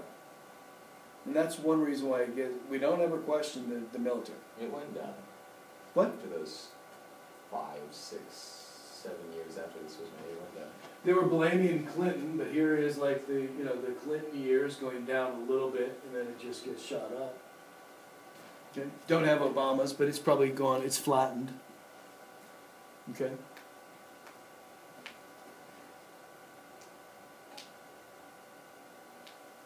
Uncontrollable ones, those would be your entitlements to social security. The only way to control them is to change the rules, change the seventy years instead of fifty-nine and a half. Uh, change any of the things when you get it, or if you have a job, those kind of things. Look at that. Now, will that change? Of course. Baby boomers will die off, right? So it's, it's, you have those, so you have different stuff, but look how big it's going. All right. Make sure you know the differences between the cabinet and the regulatory agencies. Thirteen cabinet members headed by a secretary or like the attorney general. They have their own budget, staff, they have their own website, they tell you what they are and what they do. Um, and then regulatory agencies, and you have executive agencies. So regulatory agencies, those would be like your Fed, Federal Reserve System. It might be uh, the FAA, Federal Aviation Agency. Um, why are those so evil? my age, they, we call them evil. Why do you think they're evil? The FAA. Any of them. FAA, how about FCC? Federal Commi- Federal Communications Commission. Howard Stern said that it's evil. Because they regulate, I guess. Why? I, I, I've heard arguments because they're regulating on like an arbitrary moral basis for certain things. Okay. So Congress makes a law, you can't have obscene on the radio, right? What's obscene? Who makes the decision? The FCC. Who actually does the research on an obscene, obscene claim on Howard Stern? The FCC. So you're a caller, you say Howard Stern swear that I hated this, so you make a complaint to the FCC, they research the complaint, they get the complaint, they did all that, what else did they do? They find him. They did. So they were the judge, the jury, they were everybody. So they actually made the rule, what's obscene. They actually enforced the rule, and they made the punishment. So they were all three branches of government in that little agency. So a lot of people say they have too much power because they can do all of those things. F, uh, EPA, same thing. They'll take a rule, then they make the things with it, and then they'll enforce it, and then they'll fine. And they do those. So um, I think they need to be to have that, but um, they're kind of like one of those. A lot of people say they have too much power.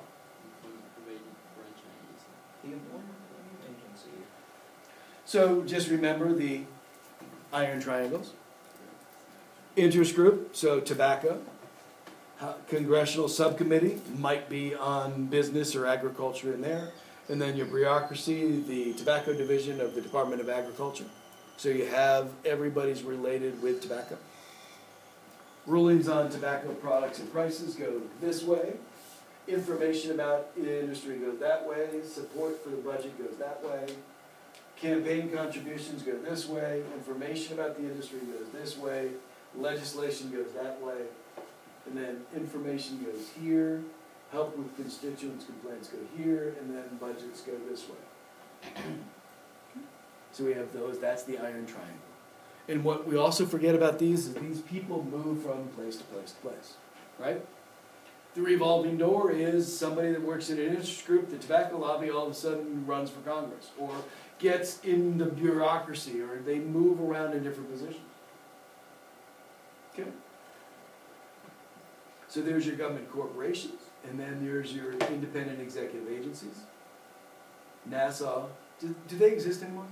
NASA? Yeah, they're They're still, still the- by, by far the largest, they're larger than all the other, uh, space programs of every other country in the world combined. They're just, we've just wiped them out from our. Comparatively, yeah. President and, uh, tries to control the bu- bureaucracy, Congress tries to control the bureaucracy. So look at those, make sure you know that, but the bureaucracy has their own life of their own. Like you said, that was part of the bureauc- bureaucratic view. All right, do we get to, I guess we'll do the Supreme Court here. All right, two types of cases, criminal and civil law. Uh, criminal, we don't spend um, a lot of time with our cases. Most of them are the civil ones, but there will be some due process, the court ones. Um, a lot of them are First Amendment rights, Second Amendment rights, and those kind of things. So we got criminal law, charges against a, uh, an individual, violated law, and then disputes. Does everybody know the defendants, the, the plaintiff, standing, what standing means? No reason. So, say Ted Cruz got the nomination, and you wanted to sue him. You'd have to have standing, so who would sue? Donald Trump. Why? Because He Because, says he's not a citizen, So what? So you. natural citizen. And you can make the argument that it's gonna actually harm him, that's the, Yeah, it has, it has to have a serious interest in the case. So you and I can't sue, even though I think that's wrong, we do have a serious interest, but they've said we can't sue. Donald Trump would, or one of the losers that lost to Ted Cruz, it could be Marco Rubio, but they still have to prove do they have standing. So you have to have some case. The most famous one was the, uh, the California proposition that was marriages between a man and a woman. So that was the proposition. That was Proposition 8. Well, the California decided not to defend Proposition 8. They said, we agree that it shouldn't be there. We don't like it. This group took up defending Proposition 8. Did they have any standing? They weren't part of California. They weren't even from California. They didn't have any money involved in it. They were a religious group that helped be on the one side. And the Supreme Court made a decision they have no standing. So it's very important that the plaintiff have some kind of interest in the case. Um, case must be a matter of law. Most of the time, the judiciary doesn't want to get in political issues. How did that happen? Okay. Remember the rule of four, the writ of certiorari. Very few cases are accepted. How many do you think are accepted? What's the number? Hundred, right? About a hundred, maybe eighty to a hundred, very few. So you have federal courts and state courts go into the request, appeals discussed in conference, appeals denied, get four votes, puts on the docket.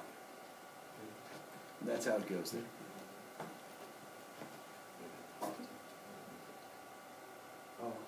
Okay, here are your different opinions. Remember, you, we got the stare decisis, precedents, that's normally what we do, we look at the original intent. Is the idea that you should look at the intent of the framers or judicial activism, judges should make bolder decisions, look at what's happening today.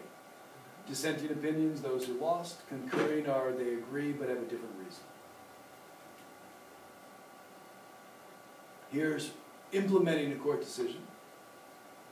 Interpreting population, understand the decision, implementing it, people actually need to carry it out. And the consumer population, people who are affected or could be affected by the decision. So, in the last one with gay marriage, do we know who are the, who's the consumer population? Businesses. You can say businesses, Businesses. probably everybody, Small. right? Yeah. But businesses and possibly gays, lesbians, implementing, who would do that? Businesses. Businesses, bureaucracy, Uh, bureaucracy had to change, to Churches, I grant guess. the marriage licenses. Okay. Does the federal government get involved? The Justice Department get involved? They They did, have. yeah. They have. Bill of Rights. Bill of Rights, first ten amendments, written to restrict the national government, mostly Congress. S- Most are incorporated in state and local laws now. Do you agree with that? What, the Bill of Rights? Selective incorporation. Um, screw that. Do you agree with him, or something? Um, I'm not sure. Well, if it's I such a fundamental right to freedom of religion, and the federal government can't make a religion, why can North Carolina? Oh, You know what I mean? So this would say North Carolina can't make a state religion. Just like Congress can't make a state religion, any local area can't make a state religion. What do you think, Alexa? That sounds about right. I don't think religion should be involved in politics. Civil liberties, remember this is your protection against the government. Civil rights is your protections against people. So then we have, these are our amendments. So this is the First Amendment. So this covers petition, assemble, freedom of speech, freedom of press, religion. This is right to bear arms. I like the, I always would like to bring out the wonderful sentence that goes right after this. Comma, those people that are based on religious beliefs don't have to serve, don't have to serve. Because that kind of shows you it was a military one, not a right to own a gun. This is a military one, quartering soldiers, so these are like your military ones. Look at all of your search and seizures, the right of the people to be secure in their homes, houses, papers, effects against search and seizures shall not be violated, no warrant shall not, shall issue, but upon probable cause, supported by oath or confirmation. So that's huge. Fifth Amendment has got a lot. It's got eminent domain, due process, self-incrimination, double jeopardy, grand jury. It's got five things in there. And then you've got six. This is your speedy and public trial, impartial jury, must be where the law, where the crime was committed. You must be informed of the nature, cause of the accusation, confront your witnesses, have a way to get witnesses in your favor, have the assistance of counsel, that's all in six. Does that say Miranda rights? No? Nope. But that's what it says for six. Does that say that you have to have a free attorney? Nope. Doesn't. Says you must have an attorney. Have to get an attorney, have to have the assistance of counsel. Where does it say one's provided for you free of expense? Doesn't say it. That's Gideon versus Wainwright that says that. Then here is wonderful common law. What's the dollar amount? Twenty dollars. Has it changed? Nope. So it's still twenty bucks. Excessive bail shall not be required, excessive fines, nor cruel or unusual punishment. And then look at number nine. The enumeration of the Constitution of certain rights shall not be construed to deny or disparage other rights retained by the people. Wait a minute, actually, for, uh, the Sixth Amendment, isn't that kind of implied for Miranda rights? Because my understanding was that with Miranda rights, the whole thing is that you can't use, um, evidence that's gathered, um, without the consent, so you can't use evidence that's gathered from an individual before their rights are read. Well, it's Of course, implied, It's right. implied by the witness. Right, this, all- it all comes from there. There's nothing wrong with this. They just made up, they just added more to it. And what I was just saying, the, you must have assistance of counsel, it doesn't say free, it doesn't say paid for. You might say it's applied, but it took a Supreme Court case to do it. So right to privacy, right to abortion is in number nine, right? She's going like, no way, no way. Doesn't exist there, right? And then number ten is her favorite one, you hate it. What? I hate it. No, you hate number ten. Of course you do, you're a liberal. This is the conservatives ones. Power not delegated Oh, to the United States Constitution nor permitted by the states are reserved to the states or the people. The reserved powers come there. Okay. Fourteenth Amendment, Equal Protection Clause, so this is good to actually see. No state shall make or enforce any law which shall abridge the privileges, and immunities of citizens of the U.S. or any state deprive any person of life, liberty, property without due process. Nor shall any state deny any person within its jurisdiction equal protection of the law. That's where gay marriage came in. Even though they said that wasn't the intent, that's where gay marriage, equal protection under the law, due process. So we use selective incorporation on a case-by-case basis to take the Bill of Rights and bring it to the states.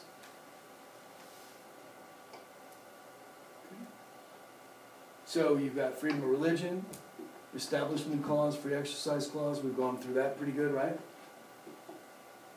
Some religious practices may conflict with other rights, then be denied or punished. Prior restraint, this is Near versus Minnesota. This is where the government prevents material from being published, that's censorship, that's not allowed. That was a nineteen thirty-one case. You may have censorship in wartime, not afterwards, and may be punished after something is published. Free speech, public order, limit free speech if it's clear and present danger, that's Schenck versus the US. So that's the clear and present danger part there, that you can limit speech there. Permissible to advocate the violent overthrow of government in abstract, but not to incite anyone to do that. Okay? Limited if on private property like a shopping center. Free press, fair trials, public has a right to know what happens. Press's own information may not be protected. There are shield laws. And then, I love Miller versus California, you remember that? What did the justice say? I know, that's the test. What did he say about obscenity? I don't know what it is, but when I see it, I'll tell you what it is. Oh, yeah, yeah. Can't really define it, but when I see it, I'll let you know that's obscene. And then this is like the, makes, it's, makes it obscene. So it lacks serious artistic, political, scientific value, it's patently offensive, and appeals to that animal nature in people. Is, is satire protected under that? It would be. Okay. Libel and slander, know the differences between the two. One's written, one's verbal. Slander is? The spoken. Yes. So, and notice that you have to, it's difficult to prove because what? You have to prove malice. You have to prove, prove that they intended it. And it also has to be false. You can't, if it's true, you can't do that. Ted Cruz's four wives or whatever. Symbolic speech, burning the flag or wearing an armband, now that's symbolic speech. It wasn't in the original there. Uh, commercial speech is the most restricted and regulated form. Um, and we're giving more and more commercial free, you know, speech. Um, right of assembly, it's permissible, but we can basically say you can meet over here, you can protest in a certain area. Um, we can say be fifty yards away from this area, this spot when you wanna protest. You can't be protesting in a Planned Parenthood right in the front of the door. You have to be a certain area, a certain spot for it. Right to associate, you have the freedom to join groups, associations without government interference. Here's your search and seizure. What's the exclusionary rule? That's Mapp versus Ohio. What's that? Um, As you can read it. What is you can't use evidence that's, uh, Obtained how? obtained legally. Illegally. So you can't use it, no matter how incriminating, can't use it if it was illegally obtained. Now they've kind of later on said, yeah, you can if you didn't mean to be bad. If you didn't know it or if it was, you know, you can use it. But that was the Mapp versus Ohio, you can't use this. Uh, self-incrimination, Miranda warnings, that's where you were saying you have to be told that, anything you use can be used against you. Entrapments may be overturned. Right to counsel, remember I said Gideon versus Wainwright, state must provide lawyers in most criminal cases. That's with the Sixth Amendment. And then plea bargaining, we love plea bargaining because that actually gets less people in the jury, you know, less cases, less things like that. And then is, do we have the death penalty in all states? No. No, some states don't have it. Some have stopped it, and then others do it quite a bit. Okay. Is there a right to privacy? It's a good question. The Ninth Amendment's where you would be. It's not split, explicitly stated. They say it's implied by the Fourth Amendment with your right to privacy, with due process, with that, you know, warrants and stuff like that. I use the Ninth Amendment. Griswold versus Connecticut, that was the birth control case with married adults. And then Roe versus Wade, and then Planned Parenthood. So there's a few things with abortion, and that's still right to privacy. So most people believe it should be legal abortion, but it's only under circumstances. See, look, twenty-six under any circumstances, and then eighteen illegal in all cases. This is civil rights. Equal protection. So you're detect, protecting people against discrimination by government officials or individuals, normally states. So you have Dred Scott. What was that voted? The worst decision ever? Yeah. Well, Didn't you, didn't you see that? Worst decision ever? Um, then you have the end of slavery, then you have Jim Crow laws, Plessy versus Ferguson, it's right up there, right? One eighth black and you can't, uh, still you're separate. And then Brown versus Board of Education overturned Plessy. And then the Civil Rights Act made racial discrimination in many areas. The difference between the Civil Rights Act of sixty-seven and sixty-four. Sixty-seven's for voting specifically, isn't it? Yep. Civil Rights Act was sixty-four and sixty-eight, and sixty-eight was in housing. Sixty-four was normally in public accommodations like that, but then housing was in sixty-eight, and then the other one was for voting. Okay. Ooh, Korematsu, you know. Native American, Santa Clara Pueblo versus Martinez. Other minority groups have been, they go in the courts, and I think there's been some where uh, marijuana with Native Americans was not allowed. So they couldn't use that as part of their tradition, so that was stopped for their, and they were saying it's their freedom of religion. Women, Nineteenth Amendment, their right to vote, nineteen twenty, um, did not get the Equal Rights Amendment. Uh, women in the workplace, there is still wage discrimination, there's that comparable worth. Can anyone tell me what comparable worth means? It's more from econ, but it was the idea that if you both have similar requirements or jobs, you should be paid the same amount, even if you're in different fields. So a nurse Oh, versus a truck driver, UPS truck driver, the UPS truck driver makes more than the nurse. So they compare those two because if the male in that makes more than the female in that, you should bring up the nurses to make as much as the UPS truck driver. That's comparable. And that's that idea. Most people don't like that. They don't like bringing them up, because the judge does that. Women in the military, they're allowed, they're working on front lines, they're getting in Army Rangers, and there's a huge amount of sexual harassment. And no sexual harassment rules, laws, do you all know? Think we covered them good? Yeah. What do you think, David? I don't know. I was saying like, uh, what was the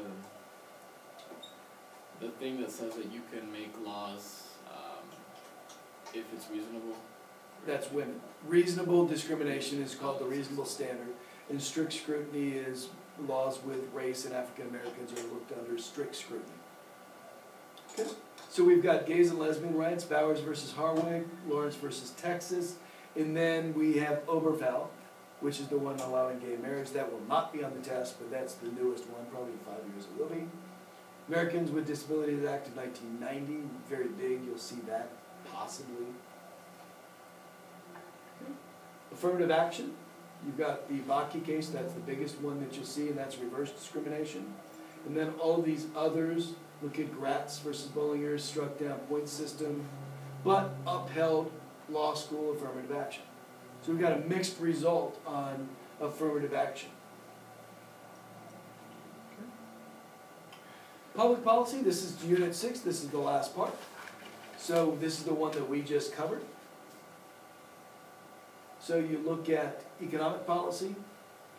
So you look at uh, Securities Exchange Commission, minimum wage, labor unions, collective bargaining, unemployment, inflation, CPI, GDP. So all of economic policy, fiscal policy, there was one, uh, I showed you the essay on fiscal and monetary policy, that was in a government one. So just kind of like review that a little bit. Federal Reserve Board, so when you get it, this will be all on, this could be on the AP government test. But the Federal Reserve and monetary policy, antitrust policy, fiscal policy. Now, this is a little bit different. We, this is where we've got entitlement programs, know what they are. Means tested. Government only provides people that fall below a certain level. So that means, and some people want a means test for social security. What do you guys think? That defeats the purpose of social that's fine, security. it's, it's not, it's an entitlement, so there's no Correct. concern. But you know why they do it? What they're saying is Donald Trump should not get social security. But he paid into it. That is correct. That's why it's an entitlement. But there are people that say, if you're a billionaire, shouldn't get it. So I agree. So what about food stamps? Should we have a means test? Uh, How about you lost your job? But I mean, there is a means test with the poverty line, you know, your, It's your true. income level. Okay. Then there's the, uh. Look what poor is. Fourteen thousand. For a family of three. Yeah, but I, I, my understanding is they usually go like a certain percentage above, so like three hundred percent above the poverty line will qualify you for a certain benefits. Sure. Mm. How much do teachers make on average? How much what? Do teachers make on average? Oh, I, I think it's a, about fifty thousand. Uh, I'm still not there yet, but I think that's about there. Uh, many people move in and out of poverty in a lifetime, in a year's time. I would say in your lifetime, you might be in poverty one year, right? Your college years, maybe right after, you never know. Okay. Right? What cons- considers a family must spend for, so thirty-six point five million, about twelve percent were poor in two thousand six. All right, everybody know the differences between the three taxes? Progressive, regressive, proportional. Earned income tax, that, then there was somebody I heard that said in Europe they're trying to go to a negative income tax. Mm-hmm. Yeah, there Makes are a couple of countries that they wanna have a basic income. so Sure. Sweden, Sweden I Sweden. think does that. Yes, Sweden. Shin. So no transfer payments, some benefits are actually money, some are not. Some get food stamps because we don't like giving poor money, so we give them stamps so they can, we can control what they buy. Welfare as we knew it. Okay. It's not, basically, this has changed, this was big. Ending welfare, so it's not lifetime, you have a certain amount of time that's on it, the state gets the rules. People on welfare have to find work within two years, so a lot of you think we're still up there in nineteen thirty-five, not even close. People should possibly get it, but they're not getting it because they missed the time. Lifetime of five years placed on welfare, two in one year, and then if things happen. Then we have the names changed. Temporary assistance for needy families. New Deal, Social Security grown, everybody knows about Social Security, three different parts to it. Disability, death, and then old age, so we have those. Um, Some people say that we need to raise the retirement age. Some people say we need to cut benefits. Some would say raise taxes raise the percent. Others would say, say let Donald Trump pay taxes on his whole income, not just on a hundred and six thousand, but pay it on everything. Republicans favor privatizing getting rid of it. Healthcare. We spend the most on healthcare of any country. This is when I was absent, I had those questions for you. This forty-three million have no health insurance, that's dropped with Obamacare, but it's still about twenty million. Most of the time you have a health insurance when you have a job, you lose the job, you lose it, that's the nice thing to get it on the exchange. Health insurance closely tied to race and income. And then remember the difference, and you were kind of like doing it, this is poor, this is elderly. This is run by the states and block grants, this is run by the federal government, so make sure you, it's common to flip them and miss those up. Okay. We still spend the most on healthcare of any country that we have, and we, are- are we good at it? What do you think? Eh, There are a lot of, uh, treatments that are very effective in the US, cancer treatment Sure. in particular. So here's environment, EPA, Clean Air Act, Clean Water Act, um, all done under Nixon. When I say he was the last liberal president, that's why, EPA, clean air, clean water, he did tons of stuff. And it did work.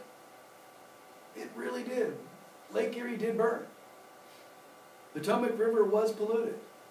I mean, it was really, really, there was, it was dead. I mean, nothing was living there, carp couldn't even go there. Now they're, they're alive again. So this stuff does work. But are we gonna do cap and trade? What do we do? I, I thought this was great. Let's take all of our nuclear waste and put them in Nevada. Does that make sense? Yeah, the mountain, that's a good idea, actually. It, I'm not saying it's bad, but it was the idea is let's take all of the nuclear waste throughout the country on train or truck That's not even- and then bring it deep under the mountain. There's so many bad things that could happen on the way there. So we do nothing. So Well, it's and where it you is. transport nuclear missiles the Mhm. same way. Sure, no, I know, it's just, there's people that, then we've got toxic waste, hazardous waste sites. Remember what I was telling you about the rain, the acid rain and the brown rain that happened? Um, we do own a lot of national preserves, national parks. A lot of people don't think the federal government should, but we have that. I was looking at endangered species, we protect a lot. Just put it that way, we do. Not tuna though. Tuna's gonna be extinct. Sure. Um, Only the bluefin tuna, Yeah, the bluefin. big ones that take It was interesting, um, I had somebody from West Virginia on, it was on the, on the, I think it was on NPR, talking about Hillary Clinton's comment that coal should die, but they didn't read the whole thing that she was saying, we should give thirty billion dollars to people in coal country to change their jobs, to change them to new jobs.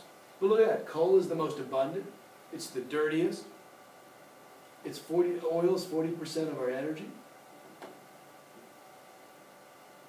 We're actually an exporter of oil. It's fascinating. Why do we do it? We import and we export. Ta-da! Ta-da! Did this help? Oh, absolutely. Yeah. What do you guys think for an overall review? It's pretty good. Okay. What time you got? It is 3.30. Okay. which is why my alarm's